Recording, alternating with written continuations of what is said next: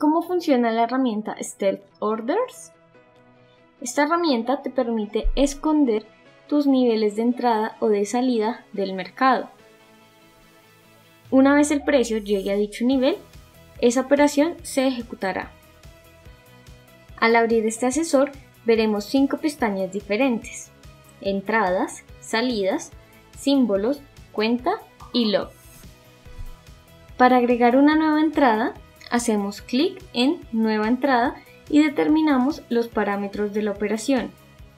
Primero seleccionamos el símbolo, el lotaje, el tipo de operación, el precio de entrada, stop loss y take profit.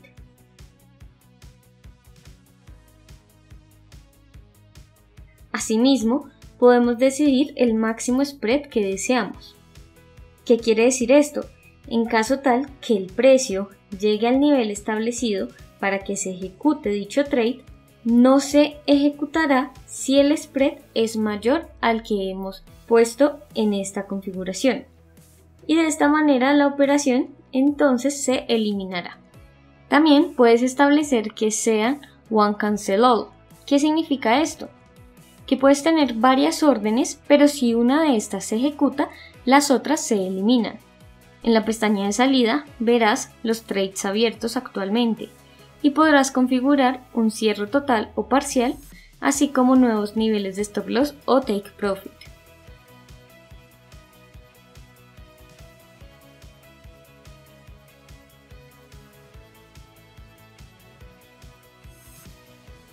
En la pestaña de símbolos también podrás crear salidas.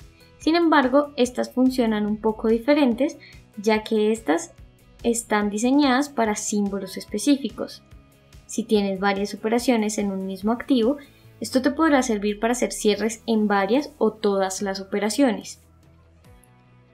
Primero debes elegir el símbolo, la salida, ya sea por precio o por beneficio, si es un cierre parcial o total, si esto activa también otras posibles órdenes pendientes, además puedes establecer que esta configuración se vuelva a reactivar o que simplemente se elimine. En la pestaña de cuenta puedes establecer niveles de salida según el estado de la cuenta, es decir, según las pérdidas o ganancias flotantes, el patrimonio o el margen. Por último, podrás descargar el historial de trading realizado a través de esta herramienta por medio de la pestaña Log.